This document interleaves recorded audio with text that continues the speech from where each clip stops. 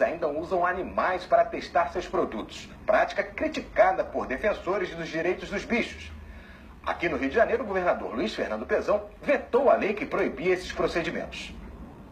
As opções de produtos de beleza são variadas, só que muitas pessoas não sabem que alguns cosméticos, antes de chegarem no mercado, são testados em animais. Quem compra o produto encontra dificuldades para saber como ele foi desenvolvido, porque não existe uma legislação que obrigue o fabricante a informar a utilização de cobaias. Um processo que às vezes pode provocar sofrimento nos animais. Você tem modelos de pele humana produzidos em laboratório. Existem diversas formas hoje na indústria que podem ser utilizadas como alternativa ao uso de animal. Um projeto que está na Comissão de Meio Ambiente do Senado pretende acabar com essa polêmica. O objetivo dele é proibir a utilização de animais em testes de cosméticos. Alguns estados e municípios também debatem o um tema. No Paraná, o uso de cobaias foi proibido por lei. Aqui no Rio de Janeiro, a Assembleia Legislativa do Estado aprovou uma lei semelhante mas ela acabou sendo vetada pelo governador Luiz Fernando Pezão. Porque existem alguns estados como Pará, Paraná, São Paulo, Mato Grosso do Sul, Amazonas,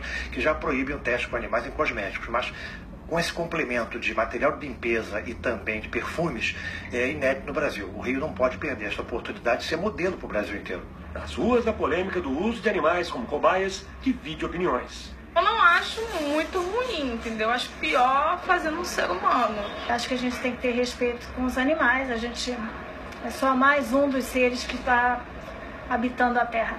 Alguns consumidores já mudaram os hábitos na hora de escolher um produto de beleza. Olha sua maquiagem e vê o que, que tem lá que tem é, é, que faz teste em animais. Você já vai localizar várias marcas que eu tenho certeza que está na necessidade de toda mulher e que inclusive são objetos de desejo e que você vai olhar para elas de outra maneira.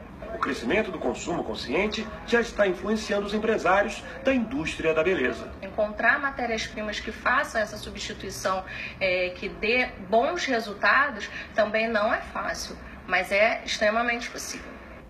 A previsão é que a LERJ analise o veto do governador ainda esta semana.